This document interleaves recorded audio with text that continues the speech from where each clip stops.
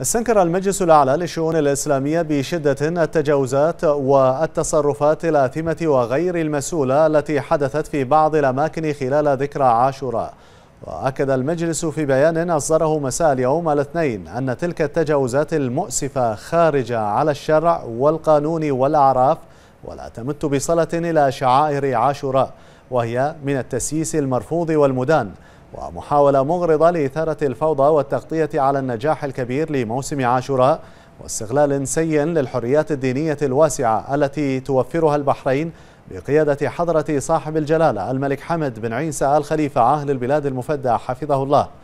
وطالب المجلس الجهات المعنية باتخاذ الإجراءات الحازمة والرادعة لوقف مثل هذه التجاوزات الشرعية والقانونية والأخلاقية ومحاسبة جميع المتورطين وكل من يخرج على النظام العام والآداب أو يسيء إلى الوطن أو يتطاول على رموزه وثوابته أو يسعى إلى تسييس الشعائر الدينية واستغلال الحريات المتاحة لإثارة الفتن والفوضى.